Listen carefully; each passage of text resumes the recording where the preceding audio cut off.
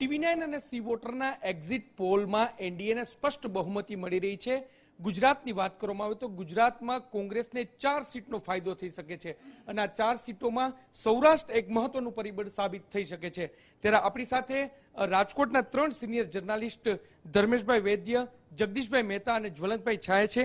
આપણે તેની સાથે સૌરાષ્ટ્રની સ્થિતિ રહેશે, એક્ઝિટ પોલના તારણ પરિણામમાં કેટલા અસર કરતા રહેશે તે અંગે આપણે ચર્ચા કરીશું. સૌપ્રથમ જ્વલંતભાઈ આપને પૂછવા માંગીશ. શું માનો છો કે જે એક્ઝિટ પોલના તારણ આવ્યા છે?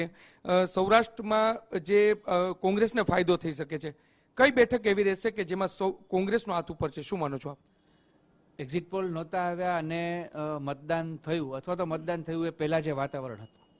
ત્યારે જ આપણે વાત કરી હતી કે જુનાગઢ બેઠક જે સેન્સિટિવ ગણાય છે. ભાજપને જેની ચિંતા હોય. અલબત્ત, મુખ્યમંત્રી જ્યારે અહીંયા છેલ્લે આવ્યા ત્યારે એમણે એમ કહ્યું હતું કે જુનાગઢમાં પણ અમે જીતશું એમની જાહેર સભા વિશે એમણે વાત કરી હતી. પણ હજી આજ સુધી પણ એવું માનવામાં આવે છે કે જુનાગઢ બેઠક છે થોડી સેન્સિટિવ ભાજપ માટે ગણાય છે. સ્થાનિક અગ્રણીઓ ભાજપના અને સ્થાનિક કાર્યકર્તાઓ એમાં થોડો કંઈક અસંતોષ અને જે ઉમેદવાર હતા એની સામેની કેટલીક બાબતો એવી હતી કે જેને કારણે કદાચ જુનાગઢ બેઠક અને સામે પાછા જે કોંગ્રેસના ઉમેદવાર છે એ સિનિયર પણ છે, એમની એક સારી ઇમેજ છે. આ બધા કારણો જોઈને આપણે એવી વાત કરી હતી કે જુનાગઢ છે એ થોડું જોખમી છે.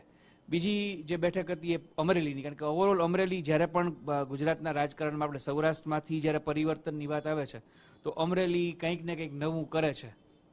એ ગુજરાત પરિવર્તન પાર્ટી હોય કે પછી એ વખતની આખી વાત હોય. તો અમરેલી અને, એટલે અમરેલી બેઠક માટે એવું કહી શકાય. પરેશભાઈ ધાનાણી જે ઓલરેડી વિપક્ષના નેતા છે એટલે કોંગ્રેસના એક સક્ષમ ઉમેદવાર ગણાય છે. એટલે આ બે બેઠકો માટે સૌથી મોટી વાત હતી. શરૂઆતના સમયમાં પોરબંદરની આપણે વાત કરતા હતા, પણ પછી લગભગ ચિત્ર એવું હતું કે પોરબંદરમાં ભાજપને વાંધો નહીં આવે. લલિત વસોયા એ સિટિંગ એમએલએ છે, આ તે બધું સાચું. પણ એ જીતી જશે. એટલે મારી દ્રષ્ટિએ મેં એમ કહ્યું હતું કે શરૂઆતમાં કે ભાઈ આ બે બેઠક એવી છે, અમરેલી અને જુનાગઢ. કે જેમાં ભાજપે થોડી વધારે મહેનત કરવી પડે. હવે એ મહેનત જો એ લોકોએ છેલ્લે કરી હોય જે કંઈ પણ જે કોઈ પણ પ્રયાસો કરવાના હોય એ કરી લીધા હોય. પોરબંદર બેઠકમાં નવા ઉમેદવાર છે તેને કારણે એવું લાગતું હતું પણ અત્યારે પરિસ્થિતિ અલગ માની રહી છે. ધર્મેશભાઈ જુનાગઢ આપની કર્મભૂમિ રહી છે. શું માનો છો જુનાગઢમાં કયા ફેક્ટર છે કે જેને કારણે કોંગ્રેસનો હાથ ઉપર છે? ચોક્કસ ખાસ કરીને અનુભવી પુંજાભાઈ વંશ પાછા ઉમેદવાર થયા. એની કારણે એવું છે કે પુંજાભાઈ વંશ આવવાથી અને બીજું એ જ અરસામાં છેલ્લા ત્રણ મહિનાનો જે ચૂંટણીનો ગાળો હતો, એમાં ભગવાન બારડનો સસ્પેન્શનનો મામલો આવ્યો. ઉપરાંત ભાજપમાં જ એક જૂથવાદ બહાર આવી ગયો હતો કે રાજેશ ચુડાસમા જે રિપીટ કરતા હતા, એની સામે દાવેદારો ભાજપમાં ઘણા હતા. ખાસ કરીને કોળી સમાજના જ જીપી કાઠી સહિત ઘણા ઉમેદવારો હતા. એટલે એનું જે આપ જોઈ શકો છો કે પીએમએ સૌથી ગુજરાતમાં પ્રચારની શરૂઆત જુનાગઢથી કરી. એનું કારણ એ હતું દાવેદારો ખૂબ હતા, લોકોને મનામણા અને જે બેઠકો થઈ એ રીતે અત્યારે પુંજાભાઈ વંશ લડાયક ઉમેદવાર હતા. ગામડામાં જે રોષ હતો, એનો લાભ કોંગ્રેસને મળે એમ છે. પણ સિટીમાં જે મતદાન થયું છે, બીજી વાત એ છે કે રાજેશ ચુડાસમાના જે પાંચ વર્ષ છે, એમાં પક્ષમાં તો ફરિયાદ હતી, પણ લોકોમાં પણ થોડીક ફરિયાદો હતી. પરંતુ એક મોદી વેવ, રાષ્ટ્રીય ભાવના, આ બધાને કારણે જુનાગઢમાં જે લડાયક જંગ થયો એટલે અત્યારે માની શકાય છે કે કોંગ્રેસ માટે એક કદાચ બેઠકની જે આશા છે તો એ જુનાગઢ થઈ શકે છે. અને એનું કારણ એ છે કે અનુભવી ઉમેદવાર એકવાર પરાજિત બે હજાર ચૌદમાં રાજેશ ચુડાસમાએ જ કર્યા હતા પુંજાભાઈ વંશને. પરંતુ પુંજાભાઈ વંશ આ વખતે જે આવ્યા ત્યારે વિધાનસભા એમની પાસે ઘણી કોંગ્રેસની હતી. એટલે એ લાભ જો એમને મળે તો જુનાગઢ બેઠક આંતરિક જૂથવાદ જે છે તેનો ફાયદો કદાચ પુંજાભાઈ વંશને મળી શકે છે. જગદીશભાઈ, આપ શું માનો છો? સૌરાષ્ટ્રમાં જે કુલ સાત બેઠકો છે ત્યાં કયા પ્રકારનો સિનારીઓ રહેશે, શું માનું છો? એકચ્યુઅલી સૌથી પહેલાં જ્યારે એમ કહેવામાં આવતું હતું કે સૌરાષ્ટ્રની સાતમાંથી ત્રણ જ, ત્રણ ચાર બેઠક એવી છે જે જોખમી છે ભારતીય જનતા પાર્ટી માટે. પણ એ જે સમીકરણો હતા ઇલેક્શન પહેલાં અને અમુક બે ઘટના પહેલાં, એમાં જે બે ઘટનાએ જે છે ને, એ સમીકરણો થોડા પલટાવી દીધા. અન્યથા જે કહેવામાં આવતું હતું એ બરાબર જ હતું કે ચાર બેઠક અમરેલી, પોરબંદર, જુનાગઢ, આ જે બેઠકો હતી, જોખમી હતી. પણ છેલ્લી ઘડીએ જ્યારે જેમ કે હવે વાત ઇન્ટરનેશનલ લેવલની છે, પણ એને ઇમ્પેક્ટ કઈ રીતે કરે અને કઈ રીતે આને માર્કેટિંગ કરીને ઘુસાડવામાં આવ્યું કે મસૂદને, યુનોમાં જ્યારે આંતરરાષ્ટ્રીય ગ્લોબલ એને ટેરરિસ્ટ જાહેર કરવામાં આવ્યો, એ મુદ્દાને આ સ્વાભિમાન સાથે જોડીને અને દેશની રક્ષાના સાથે સંદર્ભમાં જોડીને મોદી સરકારે એટલું બધું માર્કેટિંગ કર્યું કે જે ખાદ અહીંયા લોકલ ઇસ્યુને કારણે સૌરાષ્ટ્રમાં પડવા જઈ રહી હતી એમાં જે નવીન આપણા જે વોટર્સ છે જે ફર્સ્ટ ટાઈમ વોટર્સ જેને કહેવામાં આવે છે એના ઉપર એક આખી જુદી ઇમ્પેક્ટ પડી કે ભાઈ આ બધા સ્થાનિક ઇસ્યુ છે. એને બાદ કરીએ તો એ લોકો સમજે કે દેશનું સુકાન કોને સંભાળવા દેવાનું છે એમ. અન્યથા હું એ જુનાગઢ પંથકનો છું. રાષ્ટ્રવાદનો મુદ્દો. ગયો એને કારણે આખી ગેમ થોડી બેઠકો પર શું લાગે છે ભાજપનો હાથ ઉપર? હવે અત્યારે આખી છવ્વીસ બેઠક ગુજરાતની છે, એમાં બે જ બેઠક, અમરેલીને ગણીએ તો ત્રણ બેઠક, પાટણ, આણંદ અને અમરેલી. આ ત્રણ બેઠક જે છે, એ કોંગ્રેસને કદાચ મળે એવી સંભાવના વિશેષ હશે. બાકી બાવીસ ત્રેવીસ બેઠકો જે છે, એના ઉપર ભારતીય જનતા પાર્ટીનું વિજય થશે. જયંતભાઈ, અ, સૌરાષ્ટ્રમાં જે વિધાનસભાની ચૂંટણી આપણે જોઈએ સૌથી વધારે મુદ્દો એ પાટીદારનો મુદ્દો ચાલ્યો હતો અને ખેડૂતનો મુદ્દો પણ એટલો હતો. આ વખતે પણ ક્યાંક ખેડૂતોમાં નારાજગી જોવા મળી છે પરંતુ જે રીતે એક્ઝિટ પોલ આવ્યા છે તેમાં ખેડૂતોની નારાજગી નથી જોવા મળી. શું માનો છો કે સૌરાષ્ટ્રમાં ખેડૂતોની નારાજગી જોવા મળી હશે?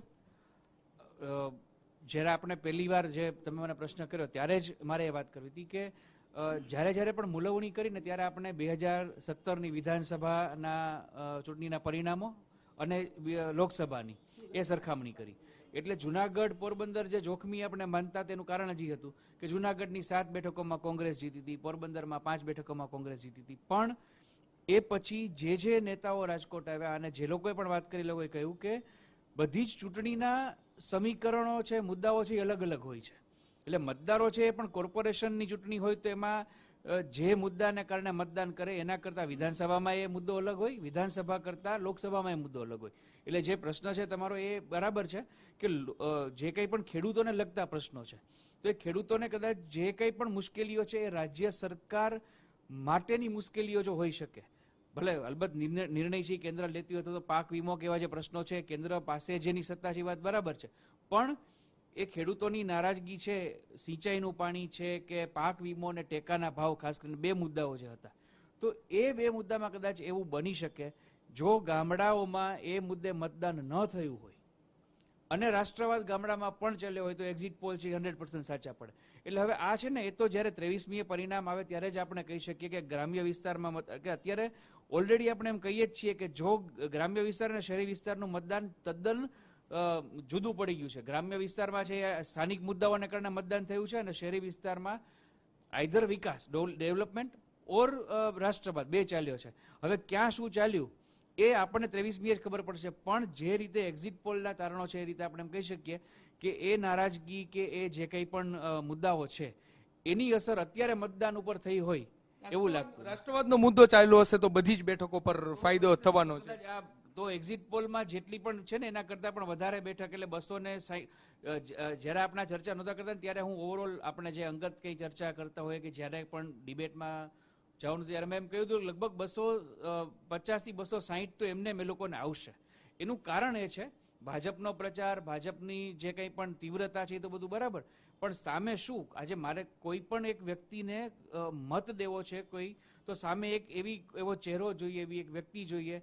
દસ નેતૃત્વ દસ પંદર બેઠકો જેને મળે એ વ્યક્તિને કઈ રીતે દેશનું સુકાન સોંપી શકાય? પછી કોઈ પણ વ્યક્તિ હોય તમે સમજી શકો છો હું કોના કોના નામ લેવા માંગુ છું. આ આખો અત્યારે એક્ઝિટ પોલ આવ્યો છે અને અત્યારે જે પ્રકારનો માહોલ છે ભાજપની જે ગઢ સમાન એ રાજકોટ, જામનગર, ભાવનગર, આ બેઠકોને તોડવામાં કોંગ્રેસને ફાયદો નથી મળ્યો. એ કે તોડી નથી શકી. આને લઈને શું કહેશો આપ?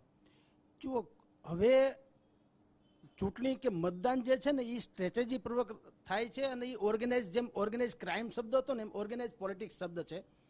હવે બધું સુગ્રંથિત વાતો છે.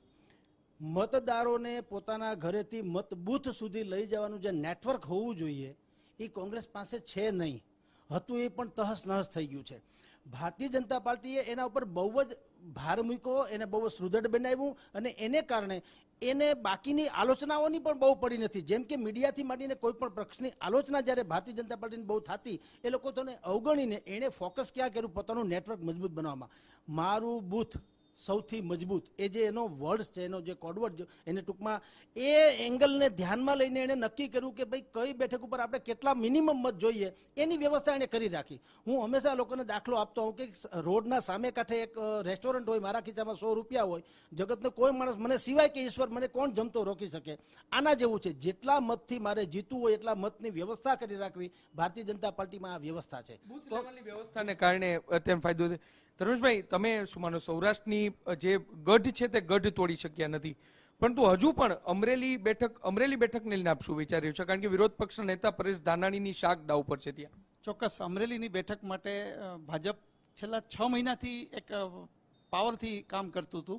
અને સૌથી વધુ, વિધાનસભાના પરિણામ પછી જે અસર દેખાણી અને પરેશ ધાનાણી ઉમેદવાર તરીકે જેવા જાહેર થયા, પછી જે જૂથબંધી ભાજપમાં હતી એ જૂથબંધી દૂર કરવાનો એક મહત્વનો પ્રયાસ થયો છે. અને બહુ ખાનગી રીતે કહું કે લોકોને કીધું કે અત્યારે આપણે નેતાગીરી દિલ્હીમાં પીએમનો પ્રશ્ન જોવાનો છે. લોકલ કોઈ પણ પ્રશ્ન નહીં જોતા કે જેને કારણે વિધાનસભાનું પુનરાવર્તન થાય લોકસભામાં. આવું કહેવામાં આવ્યું હતું. જેથી બીજું, અમરેલી લોકસભામાં જે બે મત વિસ્તાર આવે છે, એ ભાવનગરના મત વિસ્તાર આવે છે. એટલે એને કારણે પણ અને રાજુલામાં છેલ્લી ઘડીએ જે અગ્રણીઓને ભાજપમાં કેસરીઓ પહેરાવ્યો આની સામે પરસોત્તમ સોલંકીના ભાઈ હીરા સોલંકી નિષ્ક્રિય રહ્યા એવી પણ એક વાત હતી. અને સામે કોંગ્રેસ પક્ષમાં વીરજી ઠુમ્મરની પણ વાત હતી. આમ બંને પક્ષે વાત હતી. હવે આવા સંજોગોમાં એક એવું કહેવાય છે કે ત્યાં નારાયણ કાછડિયા ત્રીજી વાર છે, તો કદાચ મોદીને નામે તેની હેટ્રિક સર્જાય એવી શક્યતા દેખાઈ રહી છે. મોદીના નામે જે ચુલનભાઈ આ વખતની ચૂંટણીમાં સૌથી મોટું ફેક્ટર જોવા મળ્યું કે કોંગ્રેસમાંથી કેટલાક દિગ્ગજ નેતાઓને, સૌરાષ્ટ્રમાં તેનું પ્રમાણ વધારે, કુંવરજી બાવળિયા હોય જવાહર ચાવડા હોય વલ્લભ ધારવિયા હોય, આ જે લોકોએ પક્ષપલટો કર્યો, તેનો ફાયદો લોકસભામાં કેટલો થશે? લોકસભામાં પક્ષપલટાનો ફાયદો એટલા માટે થાય કે જે જે નેતાઓના તમે નામ લીધા, એ બધા જ પોતાનો એક આખો વર્ગ ધરાવે છે. પોતાનું, એનું એક પોતાનું વર્ચસ્વ છે. જ્યારે કુંવરજી બાવળિયાની પેટા ચૂંટણી થઈ, એટલે કેબિનેટ મિનિસ્ટર બની ગયા ભાજપ અને પછી ચૂંટણી થઈ અને જીતી ગયા ત્યારે મેં એવું વિધાન કરેલું અને I think it was in in social media કે અત્યાર સુધી આપણે એવું માનતા હતા કે જસદણ છે એ કોંગ્રેસનો ગઢ છે, જસદણ છે કોંગ્રેસનો ગઢ.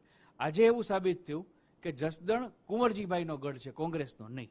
એટલે, એટલા માટે કે નહીતર કુંવરજીભાઈ ન જો લોકો પંજાને કે નિશાનને કોઈને મત આપતા હોય, પક્ષને મત આપતા હોય, તો ઉમેદવાર નહીં પણ પક્ષ ચૂંટાય. એની બદલે કુંવરજીભાઈ જ ચૂંટાયા. એનો અર્થ એમ કે કુંવરજીભાઈનો પોતે જે કરેલા કામ, પોતાના સંપર્કો, પોતાનું પરફોર્મન્સ અને ભાજપનું જે નેટવર્ક જે જગદીશભાઈ વાત કરી, એનો ફાયદો આ બધું જ મળ્યું. એવી જ રીતે જવાહર ચાવડામાં પણ એવું થઈ શકે જવાહર ચાવડાના પોતાના સંપર્કો, પોતે જે એણે કરેલું કામ છે, જોઈ ચૂંટાય તો. તો એનો અર્થ જ એવો છે કે પક્ષ છે એ ઓવરઓલ આખું એક છત્ર પૂરું પાડે છે, પણ સામે ઉમેદવાર પોતે છે એની સક્ષમતા, એનું જે પોતાની ક્ષમતા છે એ તો કામ કરે જ છે. એટલા માટે થઈને આ જે તમે જે કહેશો કે એ લોકસભામાં એની અસર એટલા માટે પડે કે લોકસભામાં એ મત વિસ્તાર માણાવદર છે, માની લો કે તો એ આમ ઓવરઓલ અત્યારે પોરબંદરમાં ગણાય છે એમ. હવે પોરબંદરમાં જો કદાચ કંઈક કોંગ્રેસને નુકસાન થતું હોય, પણ જો જવાહર ચાવડાના મતદારો છે એ પોરબંદરમાં ભાજપને મત આપે લોકસભામાં, તો પોરબંદરમાં એ જે કદાચ ખાડો ક્યાંક પડતો હોય તે પૂરાઈ જાય, એવું બની શકે. એટલે પક્ષ પલટો છે ને એ આમ આપણે આદર્શની વાત કરીએ કે ભાઈ આ પક્ષમાંથી આમ જાય, આમાંથી આમ જાય, એ આપણે કહીએ ને ન હોવું જોઈએ એ બરાબર છે એ એક સંહિતા છે બરાબર? પણ આ જીવનમાં ઘણું બધું એવું છે કે જે આમ ન કરાય ને આમ ન આમ કરાય. પણ એ પ્રેક્ટિકલ પહેલામાં હોતું નથી એમ પક્ષ કોઈ પણ પક્ષ છે ને એવું વિચારે કે ભાઈ ગમે એટલી ટીકા થાય કાંઈ પણ થાય આપણો ફાયદો આ વ્યક્તિનામાં લેવામાં છે તો પછી એ લોકો લઈ જ લે છે અને એનો ફાયદો એ લોકો મેળવે છે. બે બે બેઠક એવી જગદીશભાઈ છે કે એક પોરબંદરની બેઠક છે ને એક સુરેન્દ્રનગરની બેઠક છે કે જ્યાં બંને બેઠક પર નવા ચહેરા છે. શું લોકો આ નવા ચહેરાને સ્વીકારશે? તમે શું માનો છો? જુઓ, બંને બેઠક ઉપર જ્યારે ઓરિજિનલ કોંગ્રેસે તો એવા જ ઉમેદવાર ઊભા રાખ્યા હતા જ્યાં ભાઈ કીધું તેમ એનો પોતાનો એક વર્ગ હતો. પણ હવે હું તમને કહું, એક પેટર્ન ચેન્જ થઈ રહી છે. કોમ્યુનિટી વાઇઝ કે કોઈ પણ વર્ગ વાઇઝ કે એ બધી ચેન્જ થઈને ભારતીય જનતા પાર્ટી, ખાસ કરીને નરેન્દ્ર મોદીની, એ કેટલીક યોજનાઓ એવી છે કે જે કોંગ્રેસનો મતાધિકાર અથવા તો જેનું ઉપર હોલ્ટ હતો ને, એ આખો વોટ બેંક જે છે એ ભારતીય જનતા પાર્ટી તરફ અથવા શાસક પક્ષ તરફ આવે. જેમ કે ગેસના જોડાણ મફત આપવા. શૌચાલય, કોઈ સુખી માણસને શૌચાલયનો પ્રશ્ન હોય નહીં પોતપોતાના ઘરે હોય જ, હોય એ દુઃખીને જ હોય છે. એટલે ગેસના જોડાણ પણ સુખી માણસને હોવાનો નહીં, એ દુઃખી માણસને જરૂર પડે. આવી જે યોજનાઓ છે, એ યોજના ધરાતલ સાવ ગામડાના કે છેવાડાના કે ગરીબ કે અછત કે પરિસ્થિતિ જેની ખરાબ હોય એવા લોકોને માટે ઉપયોગી છે. એટલે એ વોટ બેંક જે છે, એમાં આને સારામાં સારી રીતે ગાબડું ભારતીય જનતા પાર્ટીએ યોજનાગત રીતે પાડ્યું. અને એને કારણે, કારણ કે એ સમજી ગયા છે કે હવે આ જે કાસ્ટ વાઇઝ જે આખો પ્રશ્ન છે, એ તો હવે તોડવો જ રહ્યો. અને હું માનું છું, અહીંયા જ નહીં, સમગ્ર દેશમાં હવે એક વિકાસની રાજનીતિવાળી વાત જે છે ને, એને ક્રમશઃ એમની કે સીધે સીધા, ક્રમશઃ આ લોકો લઈ જવા માંગે છે કે કોઈ પણ જગ્યાએ એક થપ્પો મારીને એમની સરકારની યોજના યોજનાનો ફાયદો થવાનો છે. ધર્મેશભાઈ, જે મુંજપરા સુરેન્દ્રનગરની બેઠકમાં ને તેની સામે એક પીઢ રાજનેતા સોમા પટેલ. શું માનો છો કેવો જંગ છે ત્યાં? ચોક્કસ જંગ તો ત્યાં પણ એક કાટેકી ટક્કર જેવો જ છે. કારણ કે મુજપરા નવા હતા, પણ ભાજપનું લેબલ લાગેલું ઉમેદવારમાં જ્યારે પણ ભાજપનું ઉમેદવાર તરીકે જાહેર થાય, પછી ભાજપને નવા જૂના નહીં, એને તો સંગઠન, એનું માળખું કામ કરતું હોય. હું આપને એ કહું કે ભાજપની જે જે બૂથની જે મેનેજમેન્ટ, જેમ જગદીશભાઈ યાદ કર્યું એમ, હું પણ એમ કહું છું કે એનું બૂથ મેનેજમેન્ટ છે ને એ ચહેરો ભલે ગમે એટલો નવો હશે પણ એ એનું જે કામ કરવાવાળા હોય, એ જ્ઞાતિવાઇઝ મુજબ કામ કરતા હશે. હું આપને જ કહું કે જસદણની જ્યારે બે હજાર હમણાં પેટા ચૂંટણી હતી કુંવરજીભાઈની, ત્યારે ભાજપના જ્ઞાતિવાઇઝ જે સગાવાલા હોય એનું લિસ્ટ બનાવીને મોકલવામાં આવ્યું હતું. હવે એની સામે તમે જુઓ તો સોમાભાઈ સિનિયર ખરા, પણ એણે દેવજી ફતેપરા અને જે સામજી ચૌહાણનો લાભ લેવો હતો એ ન મળી શક્યો. ઉલટાનું એને જે નુકસાન થાય એવું થયું. જો કોંગ્રેસને આ બે જણનો સાથ મળી ગયો તો માનત કે મુજપરાને થોડોક કસોટી કસોટીરૂપ થાત. પણ અત્યારે મુંજપરા પાસે ભાજપની જે ફોજ છે સાબરિયા જે ધાંગધ્રા હળવદની બેઠક ઉપર આવી ગયા. અને ત્રીજી વાત મેં આપને કીધું કે પોતાની છબી તો સારી જ છે. પોતે દસ રૂપિયામાં એક દવાખાનું ચલાવતા અને આ બધું છે.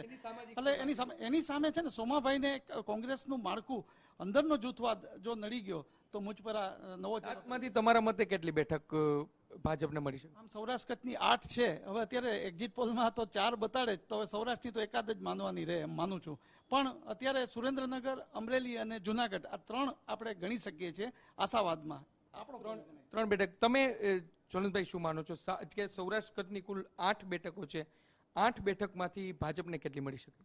સંખ્યામાં તો નહીં પણ એટલે કેટલી મળી શકે છે? શ્યોર શરૂઆતમાં કીધું હતું કે ચાર પાંચ તો શ્યોર છે એમ. રાજકોટ જામનગર ભાવનગર કચ્છ આટલી તો એટલે એ લોકોએ કંઈ જોવાનું જ નથી. અને એમાં તો એવું છે કે લીડની જ વિચાર કરવાનો છે કે કેટલો એ લોકોને કેટલી સરસાઈ મળે છે એમ. કે ઇટ વિલ ઇન લેક્સ હજારમાં નહીં હોય એ પણ લાખોમાં હશે લીડ એમ બરાબર છે.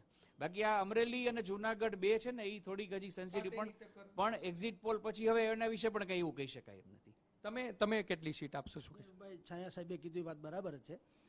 આઠ બેઠક છે, એમાં બે જુનાગઢ અને અમરેલી. આ બંને જ ઉપર તમે કહો તો કોંગ્રેસ ફોકસ કરી શકે એમ છે. બાકી પરિસ્થિતિ પલટાણી પ્રમાણે એ ભારતીય જનતા પાર્ટીને મળશે. અમરેલી અને જુનાગઢ, આ બે ડેફિનેટલી શંકાસ્પદ છે અથવા તો જોખમી છે.